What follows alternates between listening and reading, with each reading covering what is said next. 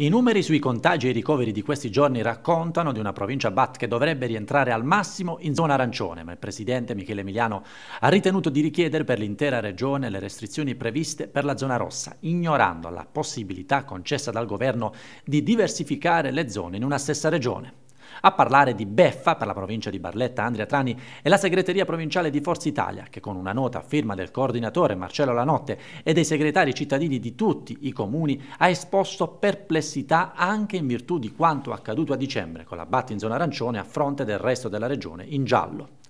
L'auspicio della segreteria provinciale azzurra è che la regione Puglia torni sui propri passi, magari su sollecitazione dei sindaci, Diversamente, ha affermato la notte, non saremmo sorpresi da eventuali class action promosse da intere categorie produttive che, ormai stremate ed abbandonate a sé, riterranno di non avere più istituzioni affidabili con cui interloquire. A proposito di categorie produttive, perplessità sulla batta in zona rossa sono state espresse anche dal direttore provinciale di Confesercenti, Mario Landriscina. Aspettava tutti l'arancione, come si stava già dicendo da qualche giorno, invece ci siamo trovati in zona rossa, con gravi chiaramente ripercussioni non soltanto questa volta sulle attività di ristorazione o di pubblici esercizi, ma anche per quanto riguarda le attività diciamo di merci varie, perché soprattutto per l'abbigliamento è stata una mazzata, visto e considerato che